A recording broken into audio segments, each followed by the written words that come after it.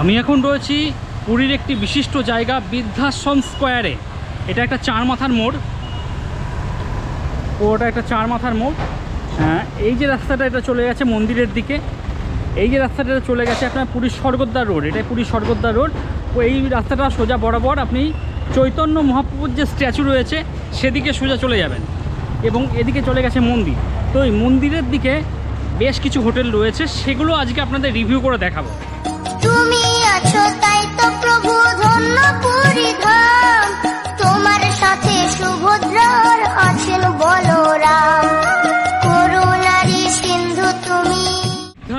Square থেকে সামান্য একটু আপনার যে রাস্তাটা পুরীর জগন্নাথ মন্দিরের দিকে যাচ্ছে, সেই রাস্তা বরাবর, এই রাস্তা বরাবর একটু এগিয়ে চলে আসবেন।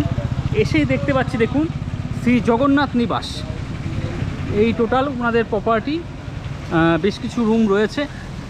তো আজকে এই শ্রী জগন্নাথ নিবাস আপনাদের জন্য আমি রিভিউ করে দেখাবো। চলুন। মূল এন্ট্রান্স গেটটা এই দিক দিয়ে। এখানে পাশে একটা মুদিখানা দোকান রয়েছে। আর দেখুন, এর উপরে লেখাও রয়েছে, শ্রী জগন্নাথ নিবাস। এই মূল গেট আপনাকে এখানে প্রবেশ করতে হবে। আর ঢুকেই দেখুন, সমুদ্র থেকে যারা স্নান করে আসবেন, হাত পা ধোয়ার জন্য ভালো ব্যবস্থা করা রয়েছে। তাছাড়া আপনারা যদি কেউ মনে করেন যে টু হুইলার নিয়ে আসবেন, সেই পার্কিং করার ব্যবস্থাও কিন্তু আমি দেখতে পাচ্ছি, দেখুন। এখানে বেশ কিছু জায়গা রয়েছে, গাড়ি পার্কিং করতে পারবেন।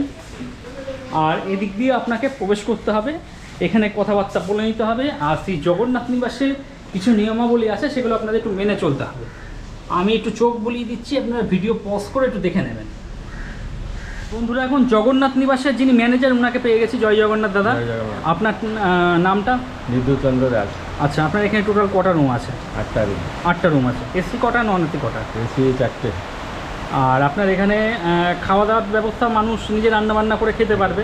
আর বাইরের খাবার এনে কেউ খেতে পারবে? অ্যালাউ করছেন সেটা? আচ্ছা নিজের পোষ্য জীবজন্তু নিয়ে কেউ আসতে পারবে? আচ্ছা আনমেরিড কাপল যারা ওনারা কি আসতে পারবে? আচ্ছা আপনার এখান থেকে সমুদ্র ঠিক কত দূর পড়বে? দশ মিনিট। আর মন্দির? মন্দির ধরুন পনেরো মিনিট। আচ্ছা দাদা আপনার এখানে রুম ভাড়াটা একটু বলে দেবেন সিজনে কীরকম থাকে আর অফ সিজনে কীরকম থাকে? সিজন টাইমে এইসব রুম হাজার বারোশো এরকম এসি হাজার বারোশো এসি পনেরোশো বারোশো এরকম। আচ্ছা। আর নন এসি আটশো। আটশো টাকা।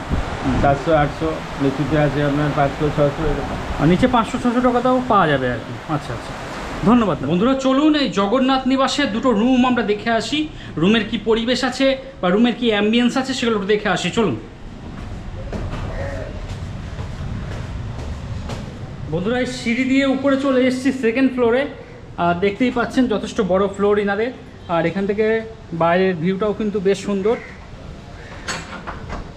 আচ্ছা সবার প্রথমে আপনাদের দেখাচ্ছি দুশো এক নম্বর রুম চলুন। নিচটা দেখুন নিচটা টাইলস বসানো রয়েছে। বেশ ভালো পরিষ্কার পরিচ্ছন্ন। একটা বেড দেখতে পাচ্ছি। দাদা বেড যে আছে কতজন থাকতে পারবে এই বেডে তিনজন। তিনজন আচ্ছা। তো বন্ধু আপনারা তিনজন অ্যাডাল্ট থাকতে পারবেন। আর রুমের মধ্যে ওনারা একটা ডাইনিং টেবিল একটা চেয়ার দিয়ে দিয়েছেন। এখানে বসে খাওয়া দাওয়া করতে পারবেন।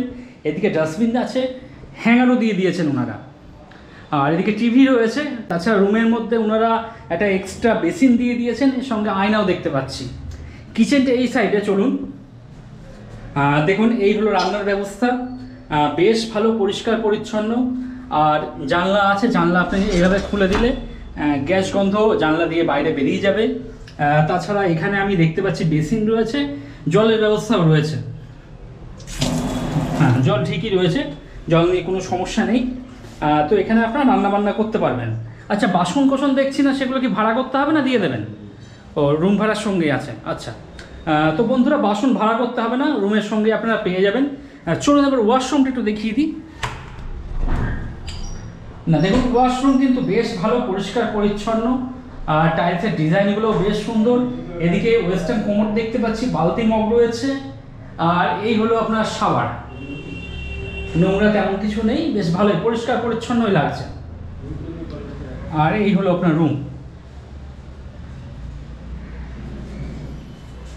পরবর্তী বন্ধুরা আপনাদের একটা এসি রুম দেখাচ্ছি। আরও কিছু রুম দেখানোর রিকোয়ারমেন্ট ছিল, কিন্তু বর্তমানে প্রত্যেকটা রুমে মানুষ রয়েছে, যার জন্য দেখানো সম্ভব হচ্ছে না। তা দুটো রুম ফাঁকা পেয়েছি, সেই রুমগুলো আপনাদের দেখাচ্ছি আর কি। এটা এসি রুম, দেখুন। পরবর্তী দুশো চার নম্বর রুম, দেখুন।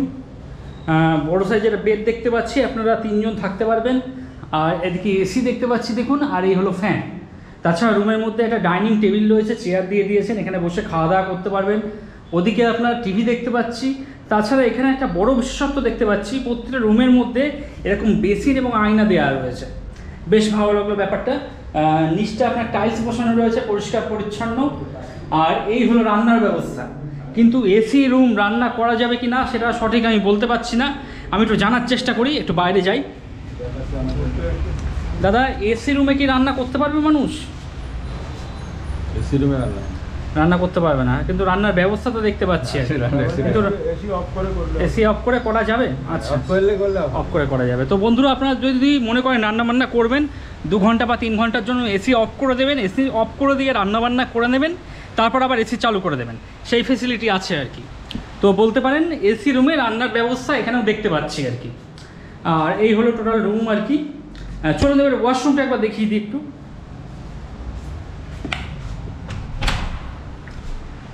দেখুন ওয়াশরুম কিন্তু বেশ ভালো, পরিষ্কার, পরিচ্ছন্ন এবং এখানে গিজার দেখতে পাচ্ছি। যেটা অনেকেরই রিকোয়ারমেন্ট থাকে সেই গিজার সেই গিজার দেখতে পাচ্ছি।